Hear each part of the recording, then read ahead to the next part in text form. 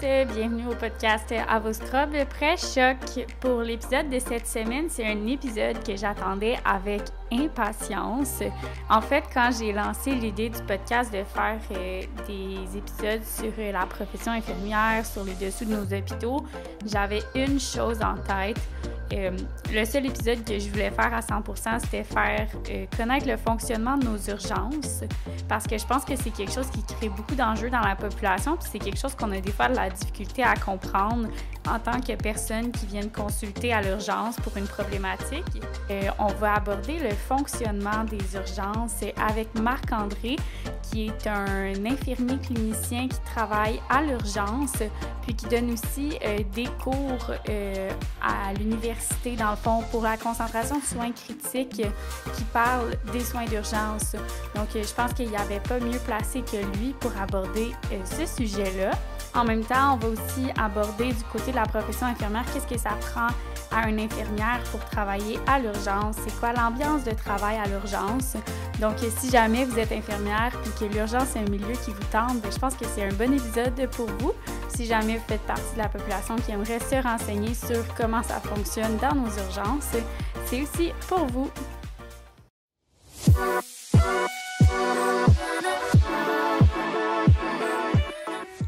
Donc, euh, avant de commencer, je voulais vous parler de deux compagnies québécoises qui soutiennent le podcast comme à l'habitude. Donc, euh, d'un côté, on a Garde Malade, des uniformes de couleurs flamboyantes, d'un super bon confort dans lequel on veut passer nos 8 heures de travail, parfois même 16 heures. Donc, la semaine dernière, ils ont sorti une nouvelle couleur, le vert givré. Euh, je sais que je suis fatigante puis que je vous dis de vous procurer toutes leurs couleurs, mais à chaque fois qu'ils sortent des nouvelles couleurs, je veux dire, sont tellement belles. Euh, c'est difficile d'y résister. Là. Donc, si jamais c'est quelque chose qui vous tente de vous procurer un uniforme garde-malade, n'oubliez pas d'utiliser le code CHOC10 pour un 10% de rabais. Sinon, du côté d'Apprenti Inf, vous avez toujours leur euh, carte mémoire qui peuvent toujours vous aider sur le plancher. Euh, on parle de l'urgence dans le podcast d'aujourd'hui, bien, l'urgence, c'est un milieu qui touche à vraiment plusieurs domaines.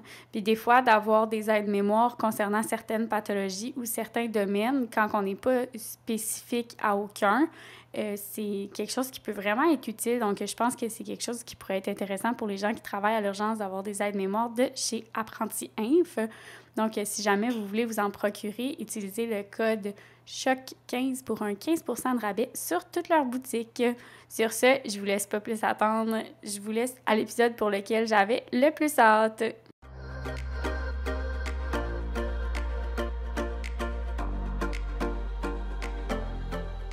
Ben, bonjour Marc-André. Allô? Ça va bien? Ça va bien.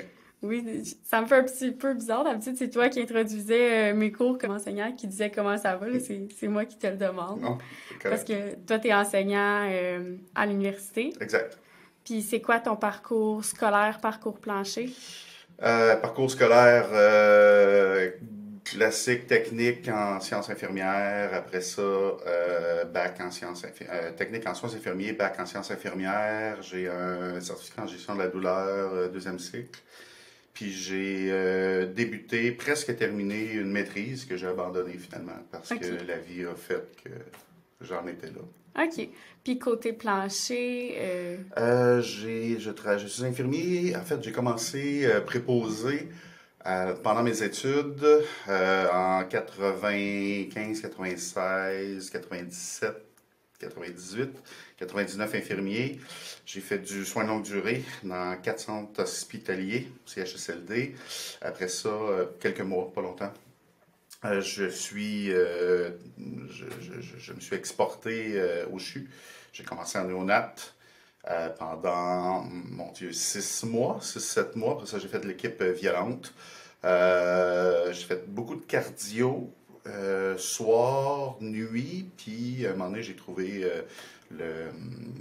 Ça, ça, allait pas avec mon style de personnalité d'arriver, de, vite, vite, vite me dépêcher à préparer mon, matériel pour ma tournée du matin, vite, vite, vite faire euh, euh tout le travail clérical, les paperasses, puis tout ça.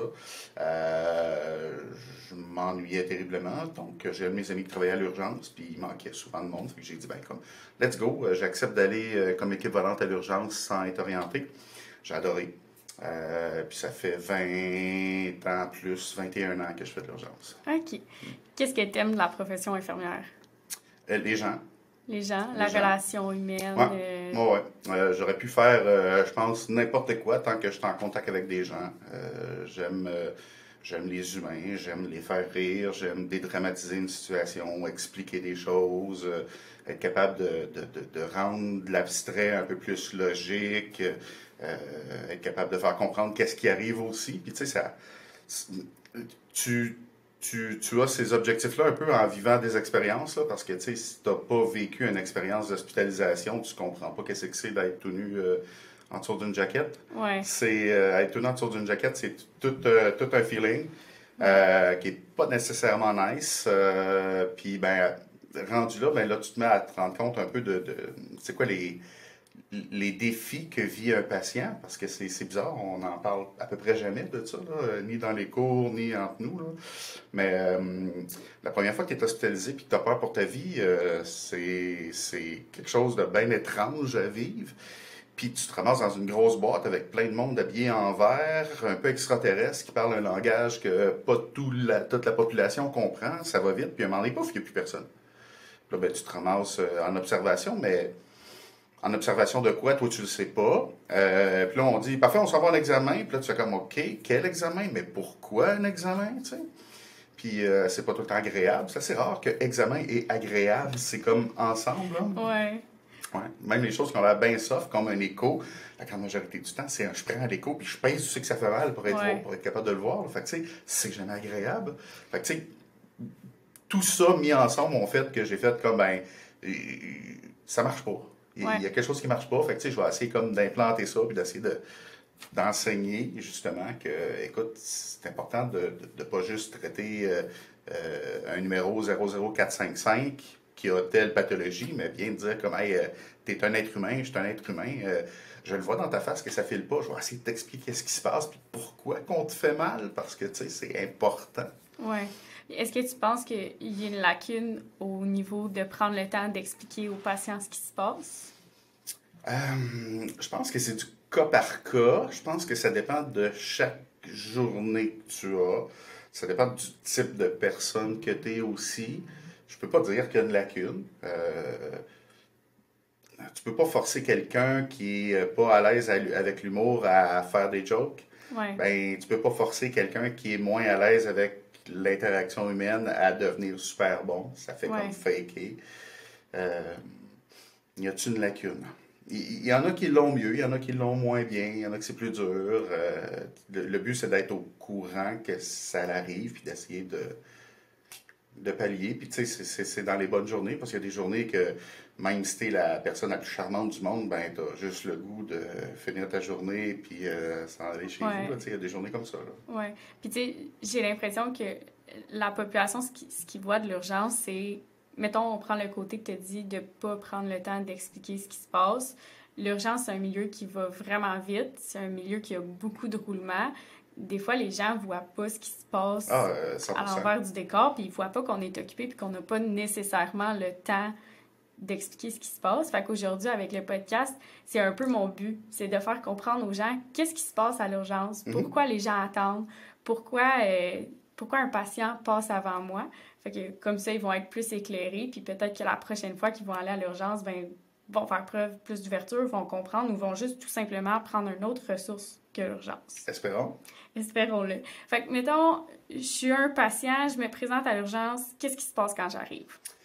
Euh, la première chose qu'il va avoir, c'est euh, vous allez être accueilli par une infirmière au pré-triage. Le pré-triage est un, une évaluation brève, visuelle. On vous demande en quelques mots euh, la raison de votre consultation. Puis dans ces quelques mots-là, si ces quelques mots-là font allumer euh, quelque chose de dangereux comme possibilité de problème, à ce moment-là, vous êtes priorisé pour le triage. Si vous venez pour un ongle incarné, si vous venez pour une infection urinaire, clairement, une infection urinaire, il faut que tu vois un médecin, tu as besoin d'un antibiotique. Mais est-ce que tu vas mourir là de ton infection urinaire? Ben non, j'ai comme du temps avant de moi. Là. c'est, un peu le principe. Si je me présente à l'urgence, puis je dis, ben, j'ai, euh, j'ai une douleur au niveau euh, rétrosternal, ça me serre ici, j'ai une radiation dans l'épaule, ben, il veut, veut pas, il faut qu'on pense que la pire affaire qui peut arriver à ce patient-là, c'est un infarctus. Fait qu'il faut que je vois ce patient-là en priorité et rapidement. Euh, donc, ce premier pré-triage-là fait comme un peu un tri quand on a beaucoup, beaucoup de personnes qui arrivent en même temps. Parce que l'urgence, c'est euh, un sprint, c'est tout, tout prend tout. Là. Il y a soit personne pendant 10, 15, 20 minutes, puis on est bien content de prendre notre souffle. Puis après ça, ben, il y a comme 22 personnes qui arrivent en même temps. Puis dans ces 22 personnes-là, ben, c'est pas tout marqué dans leur face. J'ai un infarctus, euh, j'ai euh, euh, j'ai perdu connaissance, j'ai un problème de rythme. Tu sais, c'est pas les personnes qui pleurent le plus qui sont nécessairement les plus malades et vice versa. Tu sais. Fait qu'on a besoin de ce pré-triage là. Une fois que ça c'est fait, ben là on va y aller avec l'ordre de, de, priorisation. Euh, on va voir les gens à l'intérieur d'une salle qui est la salle de triage. Puis là, ben, on va euh, poser des questions sur des éléments qui sont objectifs, des, des éléments qui sont euh, non objectifs. Comme tout ce qui est objectif, c'est ce que je suis capable de calculer. Donc, la, température, la tension artérielle, le rythme cardiaque, la saturation. Puis, ben, on va jumeler ça avec l'historique.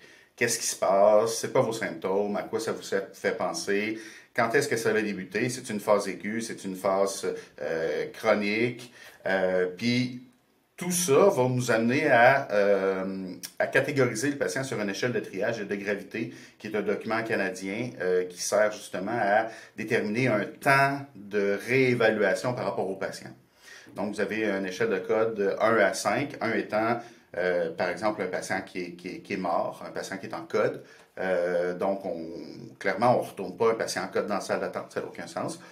Euh, on peut avoir des patients qui sont très, très atteints ou qui vont mourir dans les quelques secondes qui viennent, qui sont très, très à risque de mourir dans les secondes qui viennent. Puis là, ben, on va chevaucher entre un code 1 puis un code 2. À l'intérieur des codes 2, on va avoir les personnes qui euh, ont une, problématique qui les rend plus à risque que d'autres.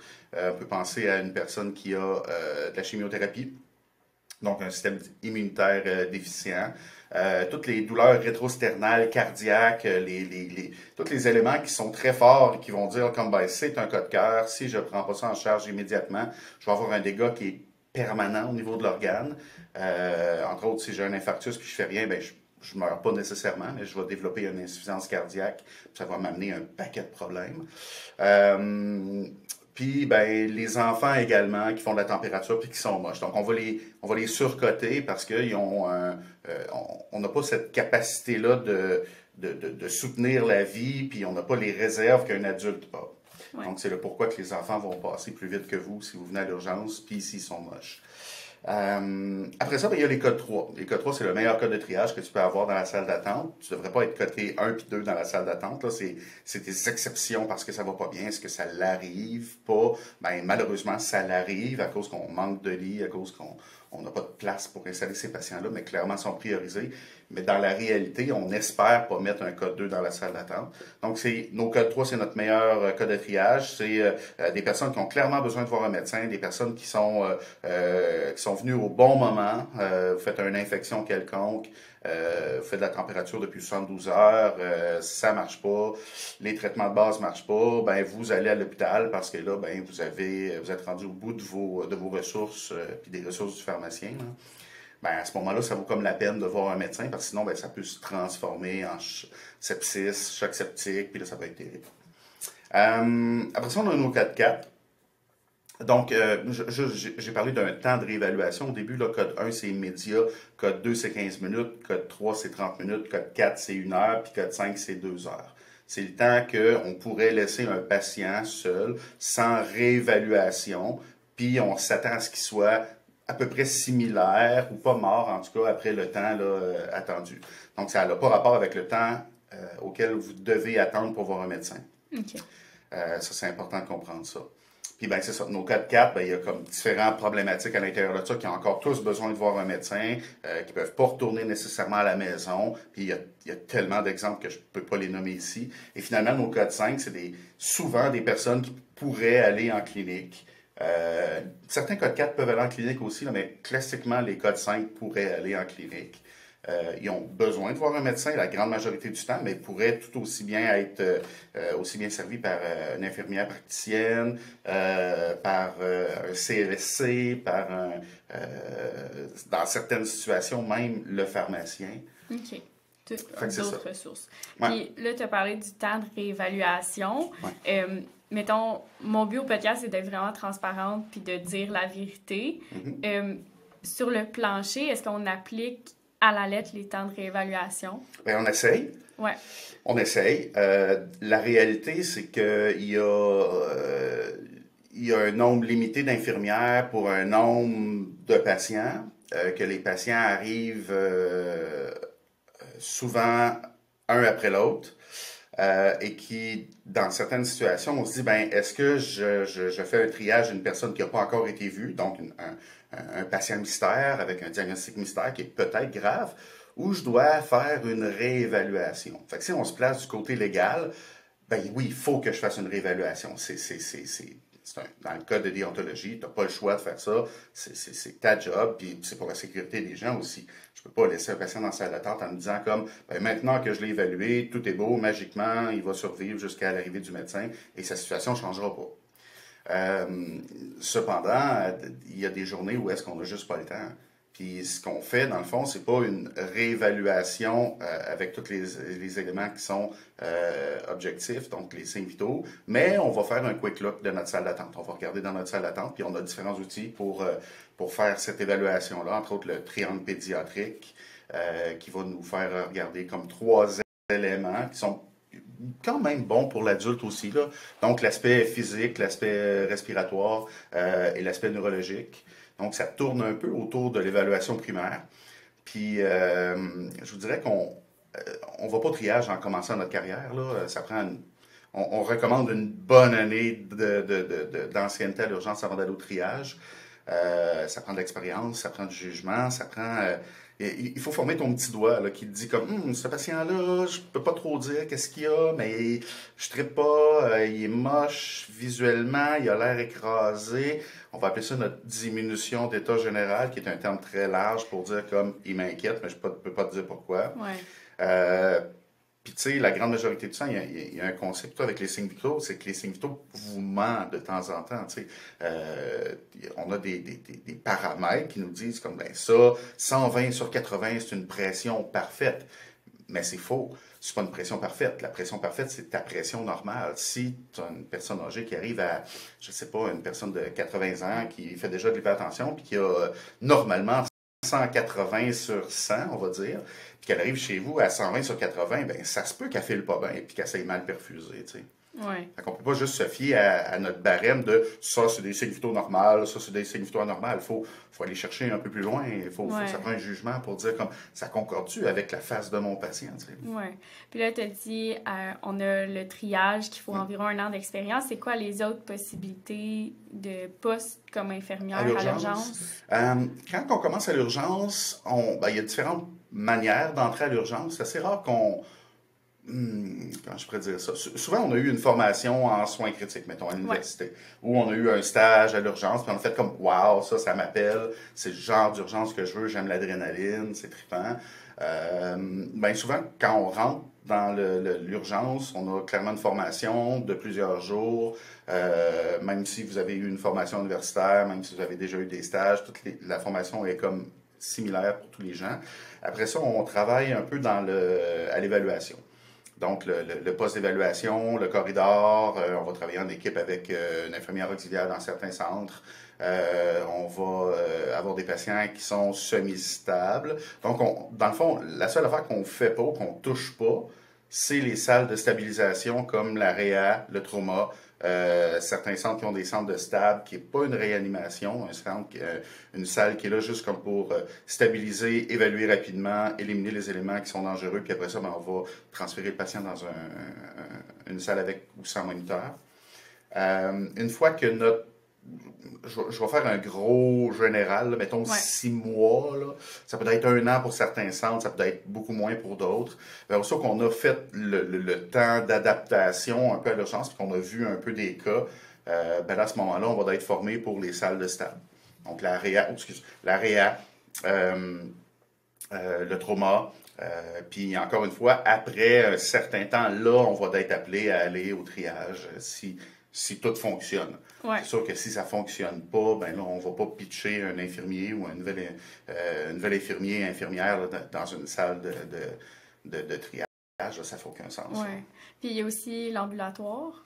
Oui, il y a l'ambulatoire, c'est vrai. L'ambulatoire, c'est une, euh, une, zone qui travaille en conjointement avec le triage. Donc, c'est des, des, euh, quand vous allez à l'urgence, vous êtes collé 3, 4 ou 5, que vous êtes dans la salle d'attente, que vous avez un problème, mais que vous n'avez pas besoin d'être observé pendant plusieurs heures, ben, on va vous faire entrer dans une salle d'examen, euh, un peu comme ce qu'on a en arrière de nous. Puis euh, on va euh, on va vous examiner, on va vous demander des radiographies ou des examens paracliniques. Puis au retour, on va vous revoir avec les résultats, puis on va vous dire, ben parfait, retournez chez vous, tout va bien, ou écoutez, on va peut-être voir une spécialiste, ou voici des antibiotiques, voici de la médication. Fait que le cheminement d'un patient qui partirait, mettons, du triage, il y aurait comme, ben, il y a son temps d'attente, premièrement, sa réévaluation, puis après ça, il y a comme deux voies possibles, soit qu'il va aller en ambulatoire si c'est un problème qui est comme facilement réglable rapidement. Exact. Sinon, il pourrait aller à l'observation, mm-hmm. puis il y a comme les cas exceptionnels qui arrivent instables, qui vont aller directement en salle de choc, puis qui vont passer euh, après ça en évaluation. Exactement. Tu m'as bien enseigné ça. Ah, ben non, c'est bon, c'est bon. T'as bien écouté. ben oui. Euh, puis, c'est quoi, euh, qu'est-ce que ça prend pour une infirmière pour avoir les différents. Euh, je sais jamais comment appeler ça. C'est pas un poste, c'est comme un. Euh, pour, pour, aller dans les différents secteurs spécialisés. Oui, les secteurs, c'est ça le mot que je cherchais. Ben, c'est pas un poste, c'est du temps, de l'expérience. Ça prend. faut être curieux, il faut se poser des questions, faut être allumé, il faut pas être gêné j'aime dire que l'urgence, c'est comme un, c'est comme les, les super-héros des infirmiers. Puis là, je parle pour ma patrie, bien gros. c'est sans dénigrer euh, les autres secteurs, jamais je fais ça. Euh, le principe, c'est qu'il faut que tu sois bon dans à peu près tout on reçoit n'importe quoi. On reçoit de l'obstétrique. Euh, on a eu un accouchement dernièrement. J'étais comme, oh my God, oh my God. Euh, on reçoit des gens cassés. On reçoit euh, des, sang, des, des, gens pleins de sang, des gens qui nous vomissent dessus, des problèmes abdos, des problèmes respiratoires. on est notre propre équipe de code. donc, on, on, se doit d'être proficient, efficace dans n'importe quel type de situation la job d'un infirmier à l'urgence, c'est d'être le meilleur du monde pour stabiliser un patient. OK. Euh, on va pas faire de la dentelle. Si on a un patient qui est intubé, on n'est pas les meilleurs pour gérer euh, la ventilation, loin de là. Euh, mais pour être capable que mon patient se rende aux soins intensifs, ben, s'il passe par nous, il va avoir euh, toutes ses chances de se rendre. ça. On est là pour donner du temps puis toutes les chances que le patient a besoin pour passer au travers, sortir de l'hôpital euh, autonome. Fait qu'après l'urgence, soit que le problème est résolu ou qu'on a une solution puis qu'on retourne à domicile. Sinon, j'imagine que c'est l'hospitalisation qui vient après si le problème n'est pas résolu. Euh, on dirait que quand on l'explique, c'est super simple puis tout devrait couler dans le beurre, mais mm-hmm. malheureusement, c'est pas la réalité de nos urgences. On a des urgences qui débordent, on a mm. des patients qui attendent longtemps pourquoi tout ça, si le système est si bien structuré, ben, ça arrive?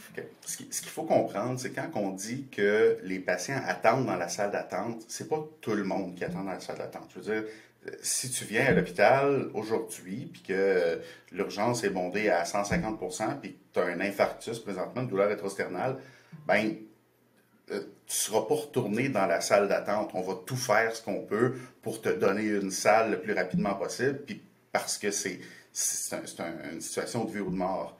Euh, souvent, on a des. des, Puis, tu sais, c'est, c'est pas concret dans la tête des gens. Tu sais, les, connaissances par rapport à, euh, à la médecine, c'est, très différent d'une personne à l'autre. Euh, c'est sûr que si tu vois une personne qui se fracture un, je sais pas, une jambe, ben, tu es capable de t'imaginer comment ça fait mal. Mais tu sais, tant que tu ne l'as pas fracturé, tu ne sais pas qu'est-ce que c'est. Fait si moi, je suis à l'extérieur de la salle d'attente, puis je regarde ma salle d'attente, puis elle est pleine, mais je sais que le reste de mes lits sont pleins en arrière, ben moi, comme infirmier au triage, je suis capable de dire que ben, les personnes qui sont dans mon, dans mon lit d'évaluation sont vraiment mal en point ou sont hospitalisées puis en attente d'être montées à l'étage.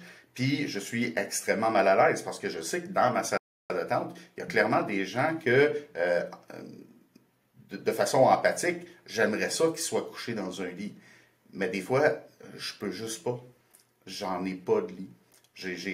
Puis je vous dirais que euh, depuis, euh, depuis quelques années, euh, le, manque de personnel, ce qu'on entend dans les médias, ben c'est pas des bobards, c'est, réel. Puis ça arrive qu'on travaille des journées avec moins un, moins deux, moins deux infirmiers, infirmières, un secteur fermé, parce que je peux pas me permettre d'avoir 12 patients comme infirmier d'urgence je ne sais pas qu'est-ce que mon patient a. C'est des patients qui peuvent être très instables, ça peut aller vite, que si tu ne euh, fais pas ton évaluation adéquatement, puis tu. Parce que les infirmiers à l'intérieur de, de, l'évaluation, ils ont également une responsabilité de triage par rapport à euh, est-ce que mon doc a besoin de les revoir un patient qu'il a déjà vu parce que là, il se détériore. Fait que s'il n'est pas allumé assez, ben ce patient-là va comme juste mourir. des fois, j'ai quatre patients qui sont semi-stables, puis à l'intérieur de ces quatre patients-là, toute la journée, ma question, c'est OK, c'est lequel qui va décompenser en premier, puis comment il va décompenser? Puis est-ce que je suis capable de, d'éliminer tous les risques qui décompensent? si j'en ai un qui décompense, bien là, à ce moment-là, toute mon énergie va vers ce patient-là. Fait que j'ai trois autres patients qui ont plus beaucoup d'énergie de ma part, puis tu sais, plus, plus, euh, plus beaucoup d'évaluation aussi. Fait là, il faut qu'on se coordonne entre infirmiers pour dire comme, écoute, mon secteur, je suis plus capable de le gérer comme il faut, je veux gérer mon patient qui va pas bien, peux-tu me couvrir en attendant? Oui. Fait que c'est du travail d'équipe, ben, de la restructure. Fait que je peux pas prendre deux secteurs, puis après ça, essayer de couvrir un troisième secteur avec un partner, parce que c'est la population qui est en danger dans cette situation-là. Fait que c'est ça qu'on vit présentement. Fait que si vous êtes dans la salle d'attente, puis que vous attendez, c'est parce qu'il y a quelqu'un en quelque part qui a évalué que euh, un votre cas de triage euh, était euh, 1, 2, 3, 4, 5, 6. 1, 2, 3, 4, 5, comme on a parlé, pas de 6. Puis que euh, on n'avait pas de lit présentement pour l'état que vous nous démontrez. Ça ne veut pas dire qu'on ne vous croit pas. Ça ne veut pas dire que votre cas n'est pas sérieux. Ça ne veut pas dire qu'on euh, ne souhaiterait pas vous installer dans un lit. Oui. Puis je pense qu'il y a aussi le problème, tu sais, des fois, l'urgence est pleine, puis justement, ça bug parce que les hospitalisations, les étages aussi sont pleins. Fait que les patients qu'on voudrait monter pour libérer des lits, ah, on peut pas, là. C'est un problème majeur. C'est un problème majeur. Quand on voit des urgences pleines à 150% 200% clairement, il y a des patients hospites qui n'ont pas de lit à l'étage pour être montés en haut. Ce C'est pas une question de laxisme non plus. il, y a, des gens qui, qui, font de la pression sur les spécialités pour dire comme, écoute, euh, buddy, euh, tu as, le droit à avoir, je sais pas, on va dire n'importe quoi, 30 euh, patients couchés en haut, t'en as 30, ça se peut-tu que tu puisses donner des congés? Puis au travers de ça, ben on donne des congés à des patients qui, mettons qu'on recule de 10, 15 ans, euh, seraient restés à l'hôpital encore une journée ou deux. Puis là, ben, il y a les deux penchants de la population, les deux bords de la médaille. Là, Soit qu'il euh, y a des gens qui se plaignent parce que là, ils sont pas capables d'avoir un lit, puis ils ont raison, ou des gens de l'autre côté qui se plaignent parce qu'ils sont retournés à la maison bien trop vite, puis qui sont pas bien, puis qui ont peur, puis ils ont raison aussi. Oui, puis qui vont venir à l'urgence parce que leur problème reste ou quoi que ce soit. Exactement. Puis j'imagine qu'il y a des solutions qui ont été trouvées dans les ben j'en ai une en tête mais moi j'ai fait je sais pas si c'est dans toutes les urgences moi j'avais fait mon stage à l'urgence de Granby puis je sais que c'était appliqué là-bas ils ont fait des des méthodes de référence pour mm-hmm. les P4 les P5 les priorités 4 puis 5 mm-hmm. pour les réorienter dans des cliniques si les problèmes peuvent attendre. Ah oui, puis ça l'aide énormément. Euh, je dirais que ça descend, euh, ça diminue énormément le nombre de code 4 puis code 5 qu'on a dans la salle d'attente. Malheureusement, le débit est tellement important que là, on se ramasse avec euh, une quantité effarante de code 3, quelques codes 4 qu'on n'a comme pas été capable de référer. Puis ben, à ce moment-là, clairement, on voit les codes 3 en premier, les codes 4 euh, en deuxième. Donc, si j'ai juste des codes 3 qui arrivent tout le temps, ben, les codes 4 qui sont là depuis 5, 10, 15, 20 heures, ben, ils ne sont pas vus. Ouais. Ils sont pas contents. Puis ils ont le droit de pas être contents. Je, je les comprends, je serais pas content à leur place aussi, mais tu sais, c'est. Puis, tu sais, quand, on, quand on, rencontre ces personnes-là, il y, a un paquet de personnes qui comprennent. Tu sais, euh, on leur dit écoutez, je m'excuse, j'aimerais ça vous passer avant euh, euh, rapidement, mais tu sais, je veux dire, j'ai des enfants qui ont de la difficulté à respirer. Acceptez-vous qu'on vous passe avant un enfant qui a de la difficulté à respirer? malheureusement, il y a certaines personnes qui répondent oui à ça. il y en a des personnes qui sont fâchées, puis qui sont pas contentes, puis qui ont, ben, qui ont raison de ne pas être contentes, mais qui, d'un autre côté, font pas l'effort de comprendre aussi la situation.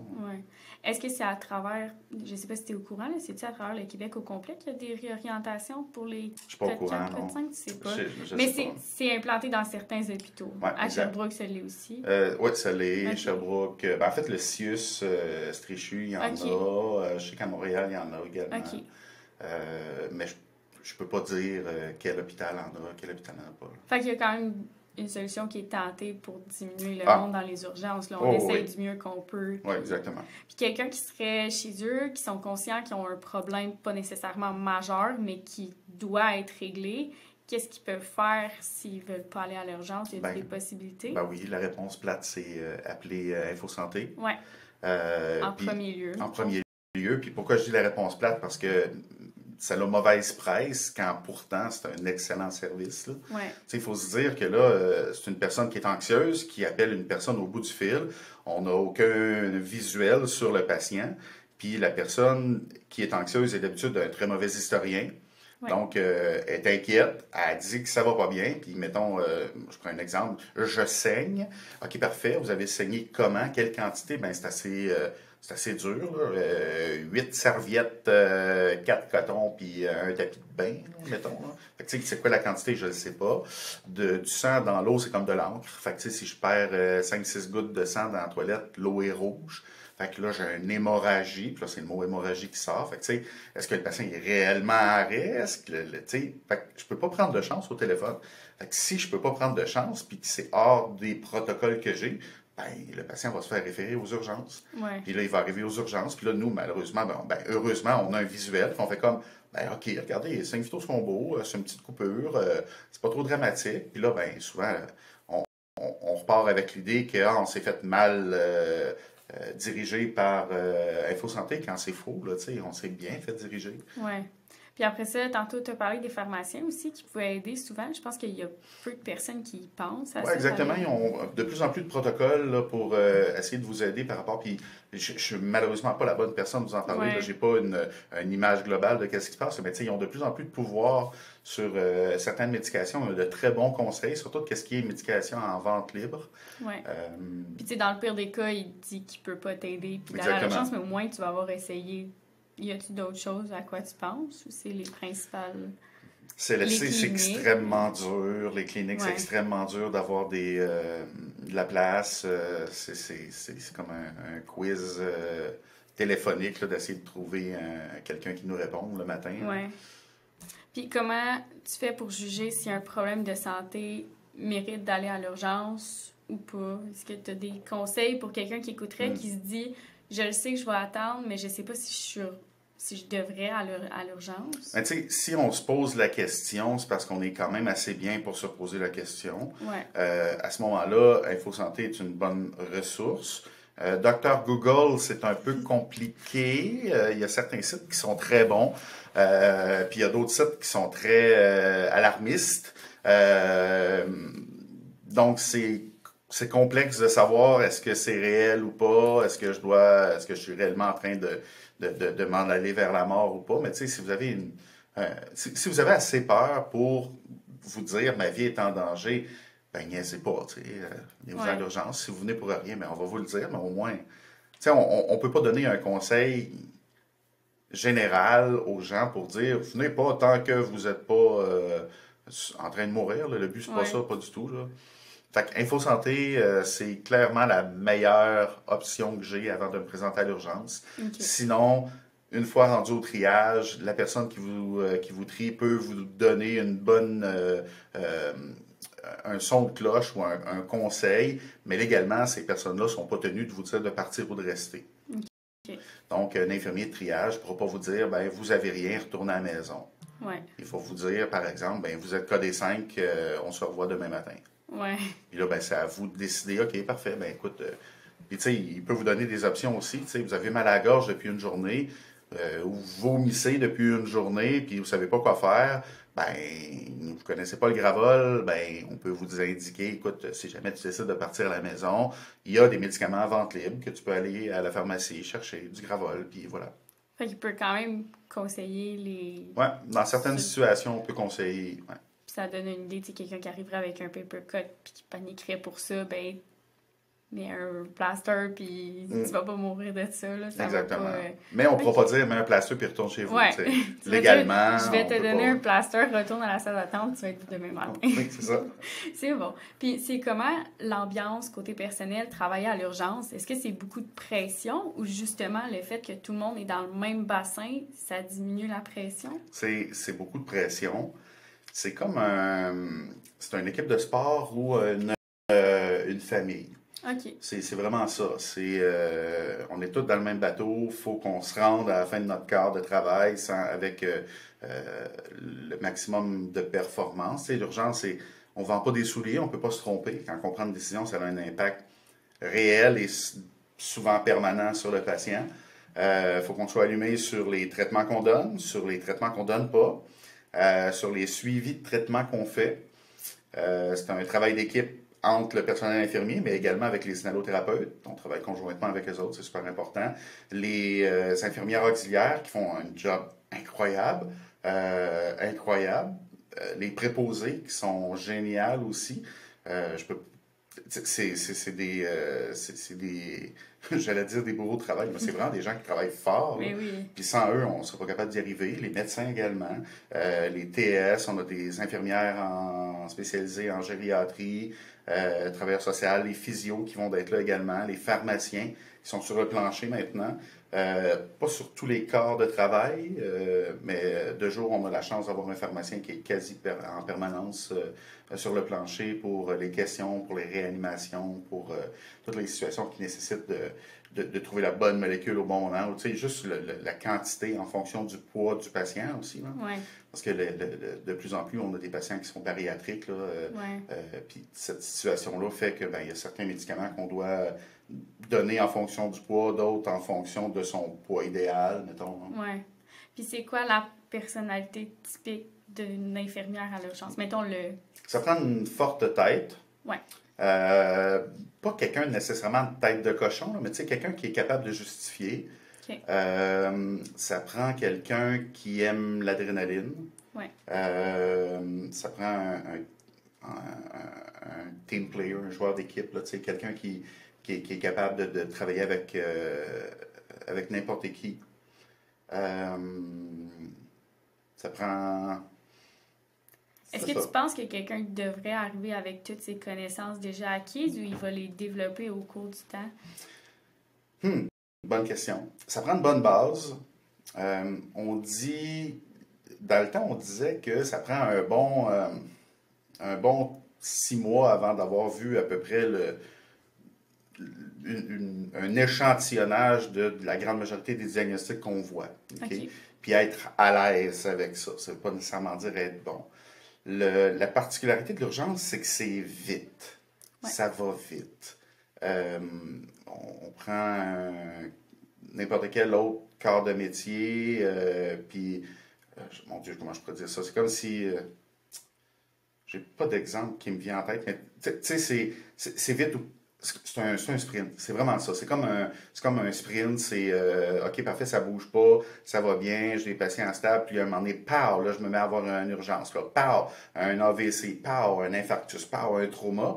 Puis là, ben, toute la priorisation que j'avais faite dans ma tête, tout mon plan de match vient de prendre le bord. Fait que je dirais qu'une personne qui est à l'aise avec le bordel Ouais. va être plus performant à l'urgence que quelqu'un, un, un cartésien pur et dur qui aime ça avoir ses, ses coins couvertes là, pliés euh, avec un équerre au niveau dans son... euh, ouais. OK. Fait que c'est c'est plus une, une connaissance au niveau de, mettons, des, des gros symptômes. Quand tu arrives à l'urgence, c'est quoi la base que tu devrais savoir? L'évaluation primaire. OK. Puis une fois que tu as ton évaluation primaire, ben là, c'est ton jugement de prioriser, puis... L'évaluation primaire, c'est le squelette euh, majeur dans l'évaluation d'un patient euh, dans n'importe quelle situation, que ce soit un patient qui est stable ou instable. C'est vraiment, vraiment, vraiment ça qui va te dire qu'est-ce qui va tuer ton patient, euh, quel élément va faire que ton patient va décompenser. Après ça, ben, il faut savoir qu'est-ce qu'on fait avec notre évaluation, donc intervenir là-dessus. Puis, il faudra être capable de déterminer un objectif qui est atteignable aussi. OK. Fait que, ça, c'est l'expérience qui embarque à l'intérieur de ça. Quelqu'un qui veut aller à l'urgence, mais qui n'a pas nécessairement la personnalité pour, est-ce que tu penses qu'il va y arriver? Oui, j'en ai vu. Ouais? oui, j'en ai vu. J'en ai vu. Euh, fait que s'il y a la motivation et qu'il veut vraiment faire de l'urgence, c'est possible. Exact. oui. Puis, euh, puis, ça sera pas très long qu'il va se rendre compte que euh, c'est possible ou c'est pas possible. Tu sais, il y a des personnes qui sont arrivées avec un bon vouloir, puis ils tripaient, puis ils voulaient, ils voulaient, puis rapidement, là, quelques semaines après, ils ont fait comme OK, non, pas pour moi. Puis il y a des personnes qui, dit, qui, qui, nous ont dit Je pensais pas que je fitrais ici. Euh, j'ai fait un stage à l'université, au cégep, en urgence. J'ai fait comme Oh my God, wow, c'est donc bien cool, tu sais. Puis ils ont continué là-dedans, tu sais. Est-ce que tu aurais quelque chose à dire pour euh, un, un infirmier qui s'en va vers l'urgence ou que ça l'intéresse, puis qui a besoin d'un petit peu de Motivation. Euh, ah, la motivation, on, va en avoir. Euh, aussitôt qu'on embarque sur le plancher, on a de la motivation. OK. Fait que dès qu'il y a un petit peu d'intérêt, si c'est quelque chose qui va être exploré. Exactement, exactement. Ça, prend un, petit courage, un petit brin de folerie, euh, tu sais, un petit kink de Ah, j'ai le goût que ça brasse un peu aujourd'hui. OK. J'en sais fait pour toi.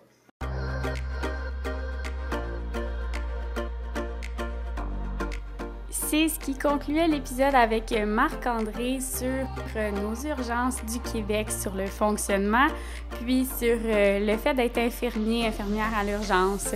J'espère que ça a répondu à vos attentes. De mon côté, je ne pouvais pas imaginer mieux. Donc, n'oubliez euh, pas de laisser une mention j'aime sur l'épisode ou le podcast, ou les deux si jamais ça vous tente. Euh, de le suivre sur Instagram, la chaîne YouTube et ou votre plateforme d'écoute pour ne rien manquer parce que le huitième épisode, en fait, euh, comme je suis rendue en Gaspésie, euh, je prends une pause. Ben, j'avais pris une pause enregistrement. J'avais comme trois épisodes de côté que je pouvais continuer de monter pendant que j'étais là-bas. Mais malheureusement, pour les prochains épisodes, les dates d'enregistrement sont fixées à fin mars, début avril. Donc, vous allez être un mois sans podcast. Donc, si jamais vous êtes abonné à la page Instagram ou à vos podcasts, quand je vais recommencer à publier, vous allez pouvoir être sûr de rien manquer. Donc, j'espère que les huit premiers épisodes ont été à la hauteur de vos attentes. Si jamais il y a des sujets que vous voulez que j'aborde ou que vous voulez vous proposer pour faire partie du podcast, gênez-vous pas, je suis super ouverte à toutes les propositions. Merci d'avoir été fidèle au podcast. Puis je vous dis à bientôt.